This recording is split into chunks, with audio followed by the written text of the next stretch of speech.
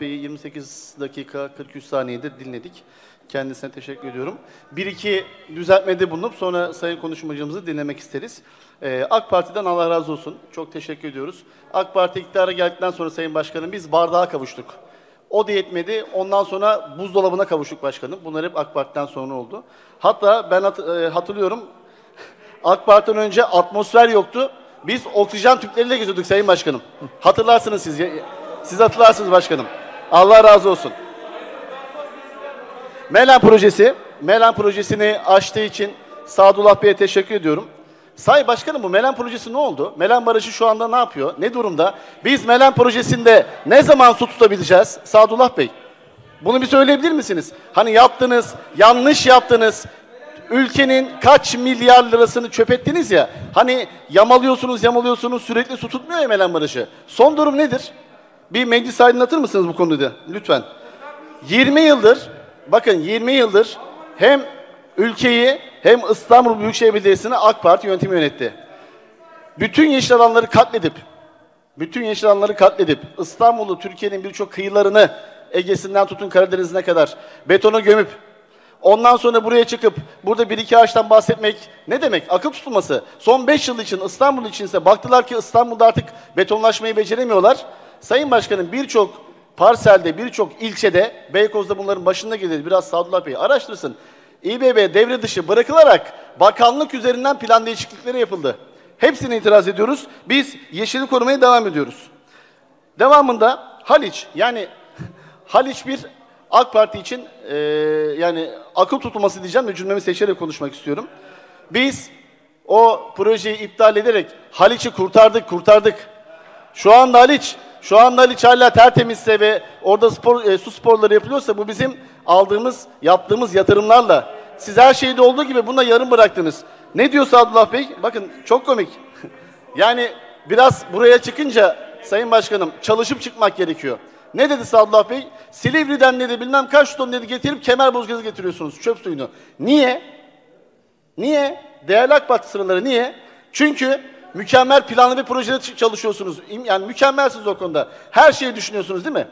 Çöp arıtma tesisi yapılıyor. Çöp arıtma tesisi yapılırken çöp suyu arıtma tesisi yapılmıyor Sayın Başkanım. Çöp oraya geliyor, çöpü döküyoruz, çöpü orada ayrıştırıyoruz. Kabasını, suyunu her gün Kemerburgaz'a getirip arıtıyoruz. Ve bir, bir, kilo, bir kilogramı da bir litresi de Haliç'e dökülmüyor. Bu konuda da yaptığınız şeyi asla kabul etmiyoruz. Yine söylüyorum biz İstanbul'u savunmaya devam edeceğiz. Bu süreçte de 7,5 milyon metrekarelik süreci yeşil alanı İstanbul'a kazandırdık. Tek tek okurum. Burada zamanınızı almayacağım. Hatta ya 25 yıldır çözülmeyen ben Kadıköylüyüm. 25 yıldır çözülmeyen Kurbaldere sorunu çözdük ya. Biraz el vicdan. Biraz el vicdan. Böyle böyle dersiniz. Çünkü Peki, Mesut oturduğunuz Bey. yerden bu işleri yapıyorsunuz. Sizleri sahaya davet ediyoruz. Sizleri Silivri'ye, sizleri Kemerburgaz'a, sizleri Haliç'e davet ediyoruz. Teşekkürler Sayın Başkan. Peki. Peki. Şimdi, Sadullah Bey çok kısa yalnız. Meryem Hanım'ı ben görmedim. Kürsüye davet ettik. Bekletmeyelim. Çok kısa lütfen. Başkanım teşekkür ederim. Meryem Hanım'ı bekletmeyeceğim inşallah. Şimdi tabii Mesut Bey'e ben e, sözlerimin içerisinde geçmişten bilgi alıp geleceğe dair kendisine daha doğru bir yol çizebilmesi için o kadar çok bilgi paylaştım ki muhtemelen beni dinlememiş. E, ben biraz sonra onun telefonuna o Kemerburgaz'a çöp suyunun nasıl döküldüğüne dair resimleri, videoları göndereceğim. Artı bana cevap diye söylemiş olduğu cümlelerin tamamı yanlış. Bir tanesi doğru değil. Kurbağalıdere projesi AK Parti'nin projesidir. Yüzde 95 oranında tamamlanmıştır. Melen projesi 22 milyar yaklaşık yatırım bedeli olan bir projedir. İstanbul Belediyesi oraya 5.9 milyar para ödemiştir. O da AK Parti döneminde ödemiştir. Bugüne kadar İstanbul Büyükşehir Belediyesi İSKİ Melen projesinden kasasına koyduğu para, oradan gelen suyu satıyor ya İstanbul'a. Kasasına koyduğu para yaklaşık 20 milyar. Ekrem İmamoğlu'nun bu dönemin görevinin bittiğinde 35 milyarı bulacak. Evet. Giren para o- 35 milyar. Evet. Yani projenin yatırım bedelinden daha fazla bir parayı Melen projesinden bu yönetim aldı kasasına koydu. Karşılığında da bir işte üretmiyor yani. Para nerede o da belli değil. Ama her geçen gün Melen projesine laf ediyorlar. Sayın Belediye Başkanı televizyonda çöp diyor, çöp. 10 milyarlık çöp diyor. Yazık ya. Ya bari yaptığın işe insan saygısı olur yani. O İSKİ'de çalışan 10 bin insana insanın saygısı olur. O proje için ta boğazın altından 4 metre tünelle su Avrupa yakasına taşınıyor. Oralarda o yerin altında çalışan insanların emeklerine insanın saygısı olur. Bütün mesele siyaset yapmak mıdır? Bütün mesele kendi siyasetinizin peşine düşmek midir? Bütün mesele kendinizi haklı göstermek, sözünüzün üstün olduğunu ispatlamak mıdır? Elinizde koskoca İstanbul var. Elinizde koskoca İstanbul Büyükşehir Belediyesi var. İmkanlar var. On binlerce insan var. Yapılmış yüzlerce proje var. Devam eden yüzlerce proje var. Para var. Her şey var. Yapsanıza. Neden yapmadınız? Neden yapmıyorsunuz? Burada çıkıp yaptıklarınızı anlatsanıza. Bizim ortaya koyduğumuz hakikatlere yalanlarla, doğru olmayan bir sürü ifadelerle, tezlerle karşı cümle kuracağınıza ne olur kendi yaptıklarınızı anlatsanıza. Çevreden, ağaçtan bahsederken ya Dolmabahçe'de o kesilen ağaçların hesabını verin. Emirgan'da kesilen ağaçların hesabını verin. Ya biz bu işlere, bu muhabbetlere girecek değiliz yani. Tane tane bunları sayacak değiliz. Ama bir İstanbul için global bir hakikati ortaya koyuyoruz. İstanbul 4 yılda 1994 öncesine döndürülüyor. Ya bak bu belediye başkanı İstanbul'la ilgilenmiyor. Başka hülyalarda geziyor. Kendi farklı bir hayal aleminde İstanbul'un günlerini heba ediyor. Siz de İstanbullusunuz arkadaşlar. Sizi de İstanbullu seçti bu meclise gönderdi. Doğruya doğru desenize. Yanlışa yanlış desenize.